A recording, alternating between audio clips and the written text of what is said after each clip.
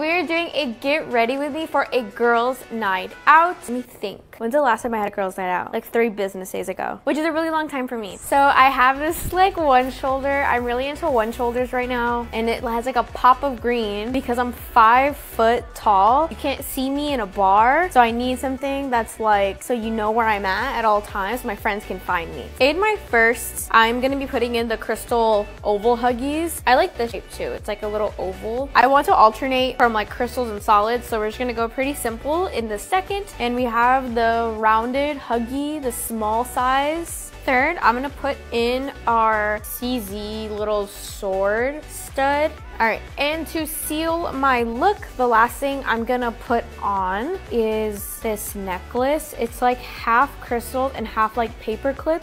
So you get like kind of a different vibe. So this is the final complete look. If you like any of these pieces, go ahead and click the link below so you can buy your own and we can match.